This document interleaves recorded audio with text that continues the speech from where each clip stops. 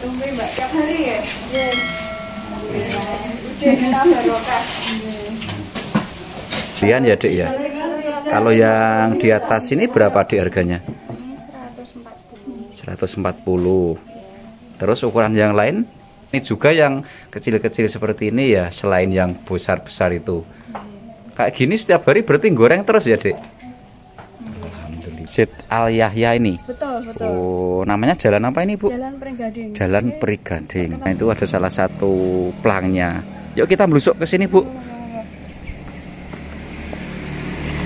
Nah, ini dukuan Melangsen, Ki. Kayak gini dibantu suaminya atau gimana, Dek? Oh, masih bujang toh?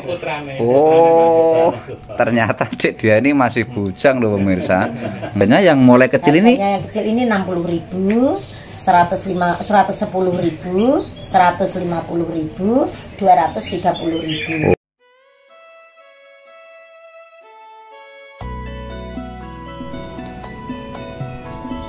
Assalamualaikum warahmatullahi wabarakatuh. Selamat pagi pemirsa. Kembali berjumpa dengan channel Sahabat Alari Blora Pemirsa apa kabarnya hari ini? Tentunya selalu kita doakan Semoga kita semua selalu diberikan kesehatan Dan juga kelancaran dalam karir serta pekerjaan Nah ini pemirsa pasti bertanya-tanya Kali ini kita diajak belusuan ke mana lagi sih? Nah, ada yang tahu? Nah, itu di depan ada tulisannya ya. Kita saat ini berada di kawasan Kelurahan Melangsen, Kecamatan Blora, Kabupaten Blora, Jawa Tengah.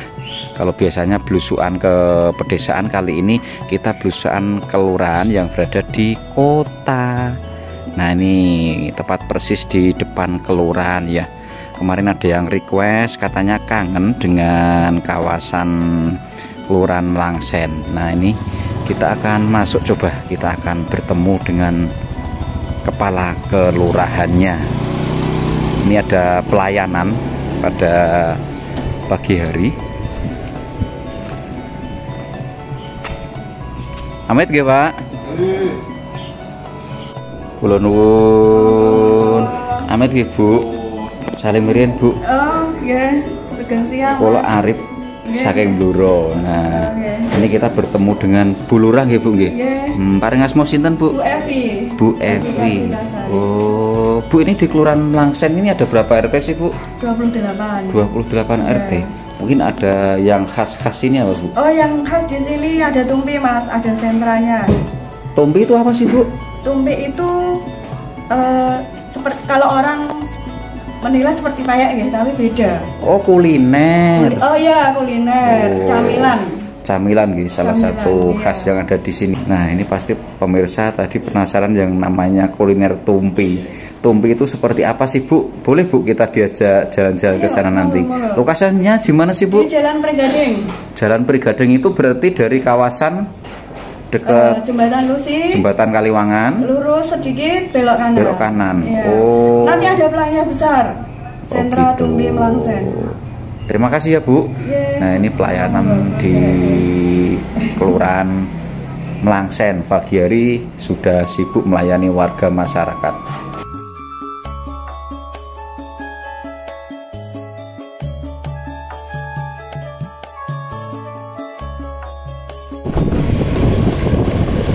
Suasana pagi hari di komplek Kelurahan Melangsen. Ini pemandangan kita sedikit berbeda ya. Kalau biasanya itu di desa-desa, ini di kota. Nah, ini kita lurus.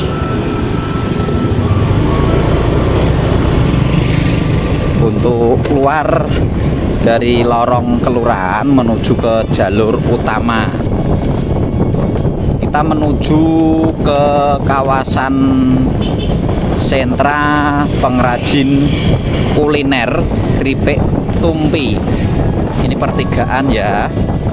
Jika belok ke arah kanan ke arah pasar Blora atau ulangi bukan pasar ya bekas pasar Blora atau ke arah alun-alun. Kita belok yang ke arah kiri ini. Jalan menuju ke arah Randu Blatung dan di depan ini ada jembatan Kaliwangan ini jembatan legend yang ada di kawasan Blora. Dari jembatan ini berjalan sedikit ke arah selatan kemudian kita belok ke arah kanan. Nah itu ada tulisannya ya. Kawasan pusat produksi oleh-oleh khas Tumpi Melangsen ini. Nah ini masih bersama Bulura. Ini berarti sudah sampai kawasan lokasinya ya Bu ya? Hmm, berarti ancer-ancer ya di kawasan Masjid Al Yahya ini. Betul, betul. Oh, namanya jalan apa ini, Bu? Jalan Perigading. Jalan Perigading. Terkenal juga dengan istilah Neruangan. Oh, terkenal juga dengan Neruangan istilah arahnya ke arah sana Druangan itu ya, Bu ya. Hmm, nah, itu ada salah satu pelangnya. Yuk kita melusuk ke sini, Bu. Nah, ini kita betul-betul belusuan ke lorong-lorong ini. Lorong-lorong tapi di kawasan perkotaan. Ini berarti Bulura juga setiap saat sambang ke pelosok-pelosok atau belusuk-belusukan Iya, lorong gini ya, Bu ya. Kan kita berteman juga ya dengan kader-kader, dengan Pak RT. Hmm, Harus tahu. harus tahu lokasi Tahu mana-mana ataupun wilayah binaannya ya, Bu ya. yang perlu dibangun, drainase yang macet, Hmm, tentunya juga. Mempromosikan apa UMKM juga ya Bu ya. Ini harus kewajiban kita. Nah ini kita sudah sampai ke rumah salah satu pengrajinnya. Nah ini kita masuk bareng Blurah ini. Oleh-oleh khas Blurah. Lenduan Pak. Salim Rian Pak. Oh,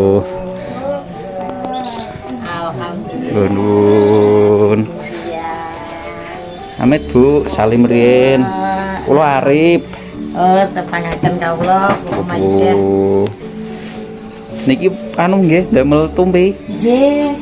Nuwun sewu Pak Sandi. Nggih, nggih.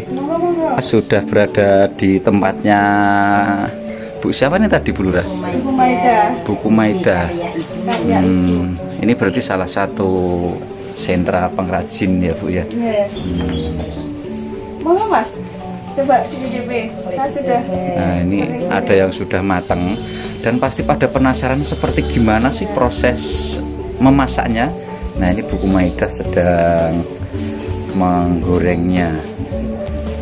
Ini berarti kayak semacam rempeyek gitu ya, Bu ya? Kayak ya, cuma kalau tumpi ini untuk cemilan.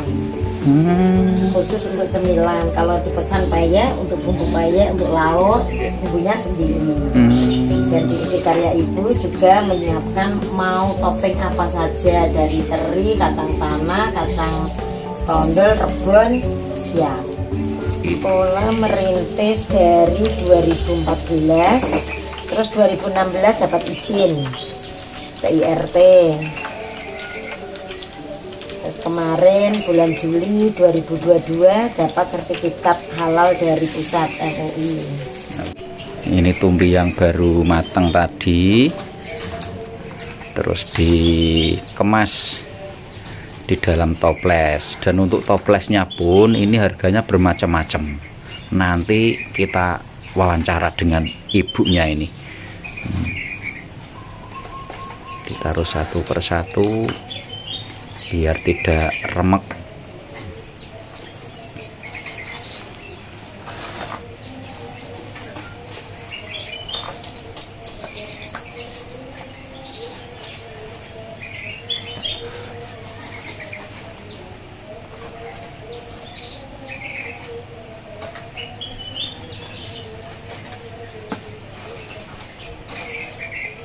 Nah, izin Bu Lurah, ini kita sambil menikmati suasana goreng tumpi, mungkin Bu Lurah bisa sedikit menjelaskan. Nah, ini di kawasan Perenggading ini ada banyak ya Bu pengrajin seperti ini, ada sekitar berapa Bu? Kemarin saya sempat bertanya ya kepada Pak RT secara detail itu ada 12 pengrajin. Tetapi hanya beberapa memang yang seperti buku Maida ini yang produksinya tiap hari. Tapi sebetulnya ada 12 sehingga memang eh, bagi kelurahan ini kan berarti ada harus perlu ada ini ya bantuan atau dorongan agar 12 pengrajin ini sama seperti buku Maeda. Oh, agar bisa berkembang gitu ya, Iya, Bu ya. ada peningkatan. Berarti dari kelurahan tetap memperhatikan lah Bu ya. Ya, ya itu kan kewajiban ya, Hmm. kewajiban dari kami. Terus untuk seperti ini apa pemasarannya gimana Bu? Pemasaran. Lewat online atau Ya ini memang dari pengrajin sendiri ya, kreativitas, daya juang dari pengrajin. Makanya ini saya kan baru ya di Kelurahan Melangsai Mm-mm. ini. Makanya saya mengundang jenengan. Ini salah satunya supaya gimana sih ini tumpi bisa menjadi ikon, bisa menjadi ciri khas, bisa menjadi tujuan dari orang-orang untuk mencari kuliner, mencari camilan, mencari oleh-oleh. oleh-oleh khas dari Blora gitu ya Bu ya. Iya, betul. Terutama di kelurahan Melangsen ini. Hmm, terima kasih Bu.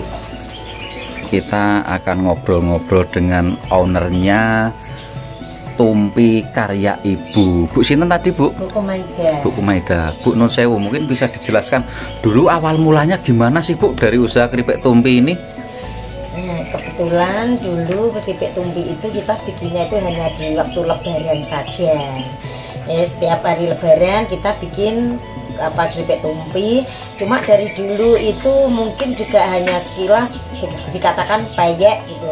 Tapi orang tua saya dulu dari dulu eh, yang memberikan nama tumpi, jadi akhirnya saya ikuti dengan nama tumpi. Bahkan dulu di Kelurahan Langsen ini pernah mempunyai Bapak Lurah yang namanya Pak Budiman. Beliaunya memberikan inisiatif kepada produsen tumpi. Kenapa dinamakan tumpi? Kita juga tidak tahu. Pokoknya namanya tumpi gitu ah. Akhirnya dari Pak Budiman berinisiatif tumpi itu dikasih kepanjangan tujuan untuk Melangsen punya identitas.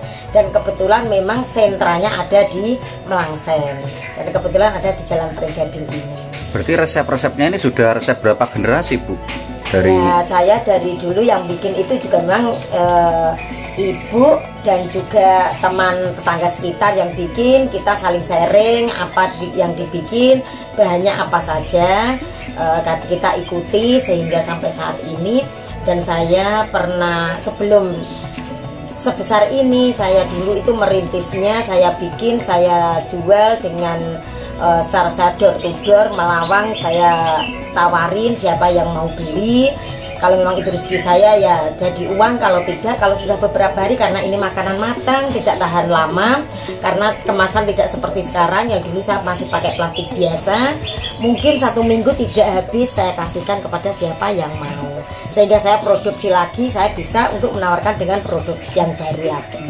Hongkong dan saya sudah ngirim ke Hongkong terima apa eh, Oh saya berarti sudah pernah kirim ke Hong Kong Bu? Ya, ke Hongkong juga Oh. sudah produk saya semua saya kirimkan dan untuk yang terbanyak sekarang itu bukan hanya di luar kota tapi di luar Jawa. Itu biasanya pengirimannya dan sampai berapa hari Bu? Keripik seperti ini? Eh, karena sekarang pengiriman sudah canggih, Mas. Biasanya saya kirim hanya tiga hari, kadang dua hari sudah nyampe. Jadinya nggak lama dan produk saya kebetulan sudah saya uji coba dan kebetulan dulu yang membuka juga dinas kesehatan satu bulan tanpa dibuka masih fresh. Masih fresh ya Bu ya? Nah, dengan kemasan seperti ini atau dikemas plastik dengan ukuran 010 itu satu bulan kuat. Hmm, Bu Nun Sewu. Terus untuk harganya ini berapa sih Bu? Untuk harga kami melayani dari harga ekonomis dari 5.000, 10.000, 30.000 bahkan 50 sampai 200 ke atas. Tinggal lihat kemasannya karena saya menyediakan tempat kemasan yang kecil, tanggung, besar dan jumbo. Bu, lah ini misal kalau mau pesen itu kita WA nomor HP-nya berapa Bu? Ya, 085 225 896 254. Nah, pemirsa itu nanti jika mau pesen nanti nomornya kita cantumkan juga di kolom deskripsi. Nah, pemirsa pada penasaran Lurah. Nah, ini kita akan mencicipinya. Ya. Ini yang namanya Tumpi. keripik tumpi. Gimana sih Bu rasanya? Ayo coba kita coba. Bismillahirrahmanirrahim. Gimana mas? Hmm. Renyah dan gurih. Sekali gigit langsung pecah di mulut pemirsa. Hmm. terus sensasi apa sensasi kacangnya. Ini kacang apa bu? Kacang, hijaunya letuk letuk bus. hmm. memang bener cocok untuk camilan. Karena apa? Rasanya itu tidak belengeri pemirsa hmm. Oh. tapi Bu Lurah kalau sudah makan seperti ini Nggak bisa berhenti. tidak cocok untuk dilereni Harus lanjut. Harus sampai habis.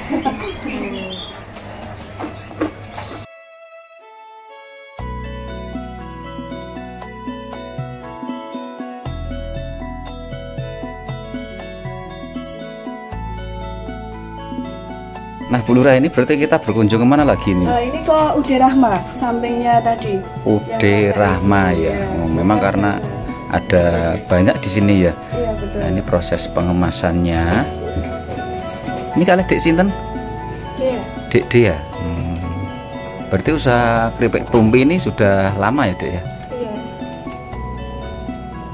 Nah, ini dikemas seperti ini. Keripik tumpi khas Melangsen Bluro.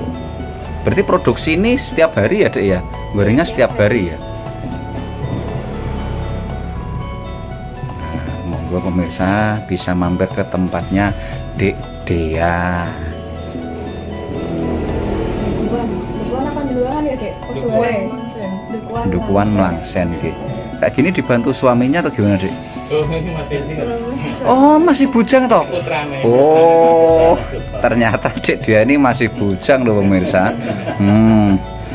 Nek pengen ngicipi keripik tumpinya Dek dia. Nah, ini.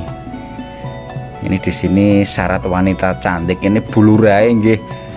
Cantik, Mbak Dea nggih cantik loh. Ini kita bantu promosikan keripik tumpi ini saya sendiri pengalaman baru pertama kali ini loh. Ternyata di Blora itu ada keripik tumpi. Tumpi aja ya kayaknya. Kan keripik tumpi. Oh, keripik. Keripik tumpi. Kayak gini harganya berapa dik? Mulai harga berapa? Kalau toples seperti ini 55.000. Mm Kalau yang kemasan plastik 7.000. 7000 mulai 7000 rupiah sudah dapat keripik tumpi Hmm, jadi ada juga kemasan kecilnya. Oh, ini yang black. oh ada juga kemasan yang black besar ini ya Hmm, kalau yang besar ini pinten dek Itu 135. 135 oh mungkin ini yang bisa untuk oleh-oleh sak keluarga besar ini ya hmm, sak keluarga bisa ngicipi keripik tumpi mungkin bisa untuk camilan bisa untuk lauk juga. Nah nah dek ini untuk pesannya ini ada nomor WA nya dek Ada. Berapa dek oh ini ya ini ya? Hmm, berapa dek itu? Yang ini. Nomor WA-nya Ha-ha. 0896 7252 7060. Nah itu nek pengen WA dek dia eh maksudnya WA pesen keripik tumpi ning gone dek dia. Terima kasih ya dek. Laris manis. Ini masih melanjutkan perjalanan bu. Oh iya, ini ke tumpi lainnya.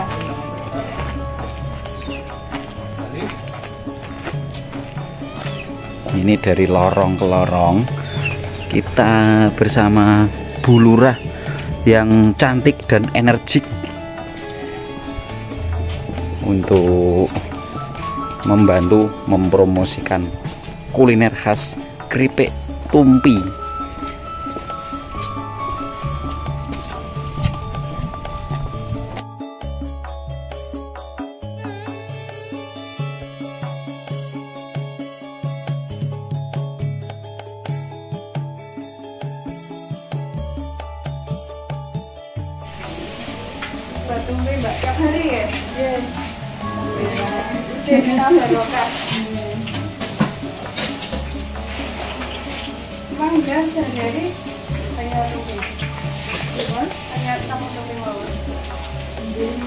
Nah ini kita berbincang dengan Bu Sinten Bu namanya jenengan. Bu Siti Fatona ini juga merupakan salah satu pengrajin ataupun pembuat kuliner keripik tumpi Bu Nun Sewu ini berarti sudah berapa tahun Bu jenengan jualan ini? sekitar 8 tahun Sudah 8 tahun nggih. lebih Lebih nggih malah nggih. Hmm, dulu resep-resepnya ini dari mana Bu? Resepnya itu ada pelatihan Oh. Terus bisa berkembang sampai saat ini ya Bu ya. Pernah kirim ke mana aja Bu kayak gini?